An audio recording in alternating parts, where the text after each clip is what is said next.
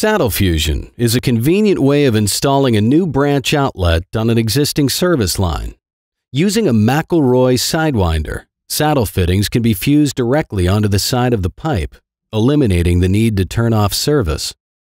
Both the pipe and fitting are properly cleaned, and the Sidewinder is attached to the pipe.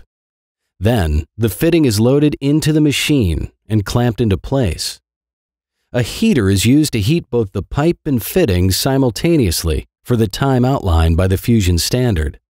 Both remain against the heater for the accepted heat soak time, and an acceptable melt bead is developed. Once achieved, the heater is removed, and the fitting is fused onto the pipe main and allowed to cool according to the specified pressure and time. After the fusion is complete, a hot tap tool can be used to tap the live main line allowing service to flow through the new branch without disruption of existing distribution systems. To learn more about thermoplastic pipe fusion, visit McElroy.com.